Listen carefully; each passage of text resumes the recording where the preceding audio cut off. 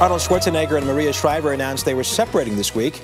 It turns out they are not alone. The number of so called gray divorces are on the rise in the U.S., and women may be initiating the splits. According to a new study by the AARP, a much larger percentage of women said they ended their relationships than men. Joining us now are relationship experts Matt Titus and Cooper Lawrence. Good morning to both of you. Good morning. morning. Yeah, hi. Matt, morning, what's the guys. deal? Why are women wanting out of this stuff? Women, through their single lives, romanticize the concept of marriage. So when it actually happens, it falls so short of what they believe it's supposed to be that they get dissatisfied, upset, bored, and they want out. it's their fault. What do you think? Oh, that, we're not that stupid. I Yeah. think that's a really infantile idea. I don't think Infantile. women. I don't think women do. Well, women don't Good. think like that.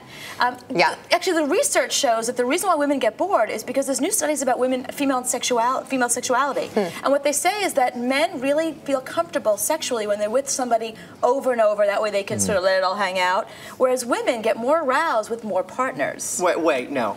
Same old, same That's old, one guy Yeah. monogamy for the rest of our lives? I don't, I, I'm not thinking that way. Well, I'm not, not saying same all. old, same old, It's the but I'm saying woman. They, no, no, they feel more comfortable with the same woman. They feel like they can do things that they can't normally do I with a it- stranger. Are you saying they're falling into a rut, or, or men are more comfortable almost with falling into a rut than women? I don't think it's a rut. I think men actually enjoy having sex with the same woman, believe it or not. I don't. What planet are you on? Monogamy is one of the hardest things in the world for a man to handle. It's not what the One research woman for the rest of your life? Really?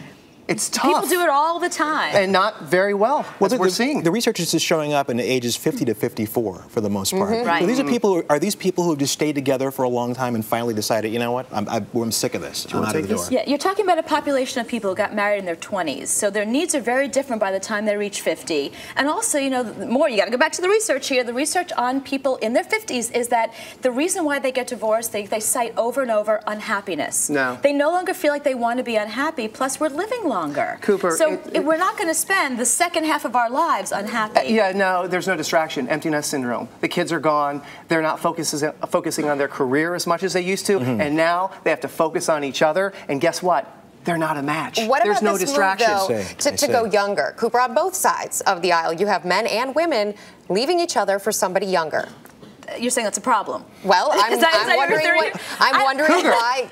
Cougar, Cooper. I don't think. I think whoever makes you happy. I don't judge people about what age they end up with. As long as they're happy and it works for both of them, I don't know why anybody cares. Yeah, but what if you're about- not happy in your marriage and you and you both feel that way, why on earth would you stay together? What about the history? What about the love? What about the, the, the time stay you've had together, They stay together? for the children, and, and again, you got to go to the research. All the Mm-hmm. research shows staying together for the children, especially if it's a war zone, is more damaging for Yeah. the for the development For of everybody. children and for everybody. So what does a couple do if they're worried about boredom setting in? They're already seeing the signs down the road.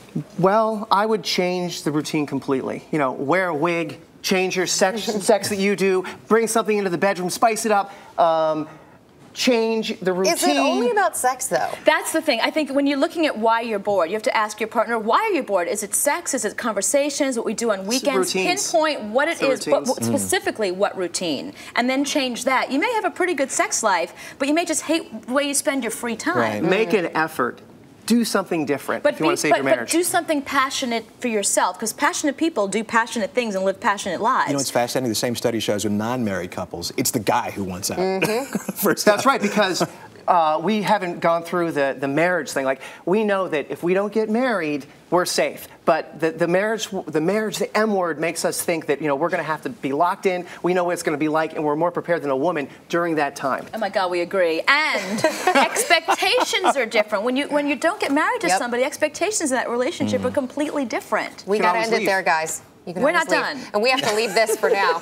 guys, as always, Thanks, Matt. Titus, Cooper Thank you. Lawrence, Appreciate thank Thank you. you.